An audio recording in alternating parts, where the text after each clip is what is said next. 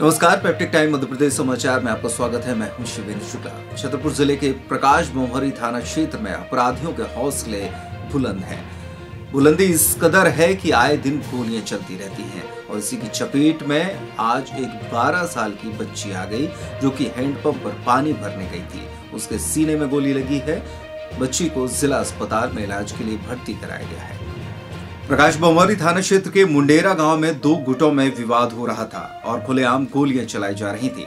इसी बीच हैंडपंप पर 12 वर्षीय बच्ची पानी भर रही थी और बच्ची उन गोलियों की चपेट में आ गई। बच्ची के सीने में गोली लगी है और हालत गंभीर है। उसे जिला अस्पताल में इलाज के लिए भर्ती कराया गया है। ये श्रीमान मालूम तो नहीं तो गाँव वालों ने हमें ये बताया, हम हार में थे। बच्ची हमारी पानी लेने गई थी। और अनुरागियों अनुरागियों में दोनों दोनों लोगों में झगड़ा होने लगा। उन्हें गोलीबारी कर दी। बच्ची भर रही थी पानी। बच्ची के सीने में गोली लग गई। हमें जानकारी मिली तो हम वहाँ से लेके जो है तुरंत अस्पताल ले आए और पुलिस को भी सूचना दी। फिर मैडम ने जो है यहाँ भेजा हमें। कैसी हालत कैसी है बच्ची की? बच्ची की अभी तो एक्सरे के रूप में जा रही है आपस में विवाद चल रहा था उनका। बच्ची बीच में आ गई। बच्ची बीच में आ गई। कितनी उम्र होगी लगभग? बारह साल। क्या नाम है बच्ची का? सिराजल विश्वकर्मा